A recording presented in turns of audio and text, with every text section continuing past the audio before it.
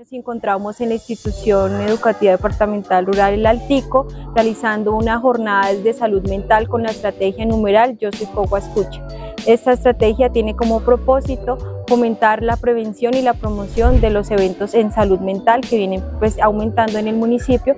Nosotros hacemos presencia todo el equipo interdisciplinario de la Gerencia de Desarrollo Social. Mm, desde la Gerencia de Desarrollo Social y Comunitario nos hemos dado cuenta la importancia que es permitir que los chicos expresen sus necesidades, por eso hemos destinado nueve estaciones en las cuales eh, cada profesional manejaba diferentes temáticas como el cuidado de uno mismo, el autoestima, la resolución de conflictos, el tipo de violencia, el conocimiento de las emociones y la educación sexual y reproductiva.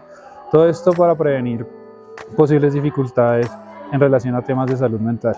Los estudiantes tuvieron un acercamiento muy oportuno con los profesionales, estuvieron participativos, activos en términos eh, de cada uno de los talleres. Adicional a eso también ofrecimos los servicios que prestamos desde cada uno de los programas sociales y adicional a eso desde salud mental, los profesionales los días lunes, miércoles y jueves en la Casa de la Mujer. La estrategia Yo Soy Cogo Escucha ya se ha venido desarrollando en el transcurso del año en la institución La Plazuela, estamos aquí en Altico, posteriormente estaremos en las instituciones públicas como lo son Mortiño, Margaritas y la institución Las Villas también haciendo presencia. Nosotros acogemos la iniciativa de Cogo Escucha porque muchos de los niños no conocen lo que ofrece la alcaldía en cuestión social psicosocial especialmente.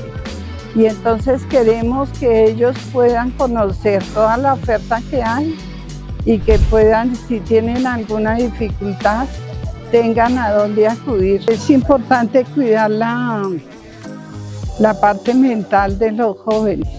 Últimamente se ven afectados por tantas cosas que es difícil saber qué está pasando con ellos uno como docente y también como padre de familia debe estar pendiente de los hijos. Si presenta alguna dificultad o algo, pues informar. Hay veces no sabemos qué están pasando y ellos pasan por cosas muy difíciles y tenemos que ayudarles para tener una juventud sana mentalmente.